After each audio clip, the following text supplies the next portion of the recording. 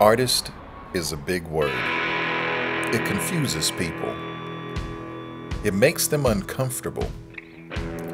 It's scary to claim you're one of them until you decide it's not.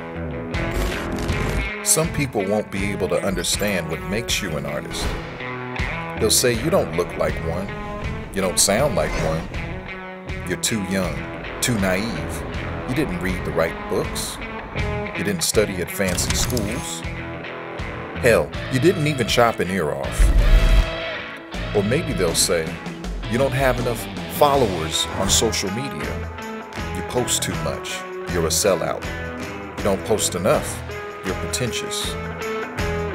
The starving artist. The tortured artist. Like happiness would make you less of an artist. But when you hear this, don't hate the ones who say it.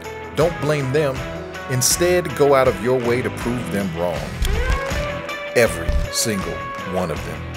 So next time people ask you, what you do? Tell them you're an artist. One of the good ones.